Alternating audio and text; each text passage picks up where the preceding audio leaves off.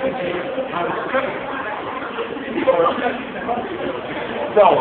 we're going to go to the arcade club.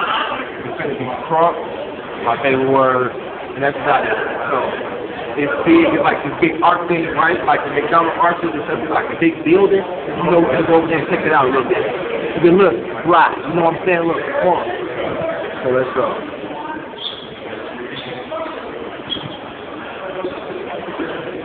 I got the word. Ah. Thank you, Jerome.